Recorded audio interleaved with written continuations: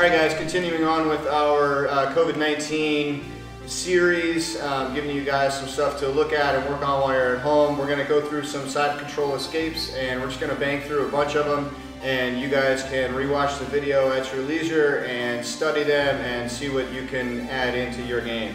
All right, so starting off, down side control, I'm watching out for elbow drops and Chad's got on top of me.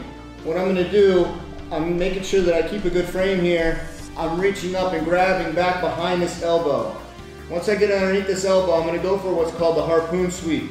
Okay, I'm trying to take my elbow and getting it underneath his, uh, his hips here. I wanna make my elbow kind of peek out the other side. Once it's here, I'm reaching over and grabbing the lat.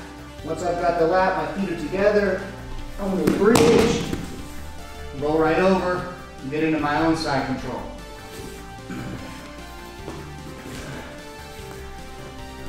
One more time.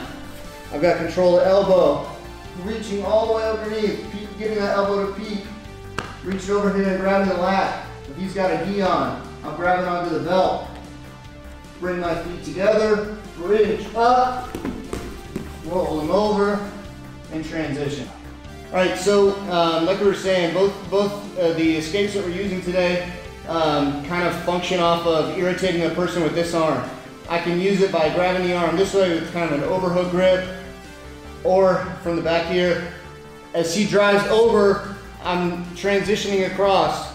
Eli Knight has a great video about this where he talks about making the X right here, grabbing the arm and pushing here. And uh, he talks about using like a Turkish get-up style to get up. And uh, as an RKC, I appreciate that.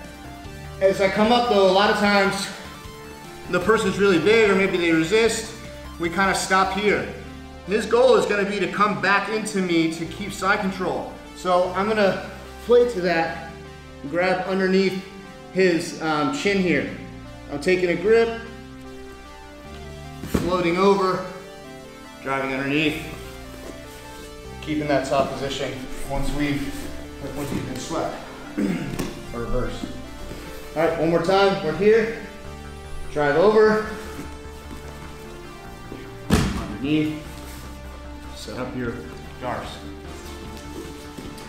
So I know in this time we're quarantined, you may not have um, a lot of partners to work with. Grab your wife, grab your kid, grab your dog, whoever will work with you and give these a try out on your mats at home or carpet, garage door, garage floor, Garage whatever door. you got. Gotta kick it down first. Check them out, let us know what you think.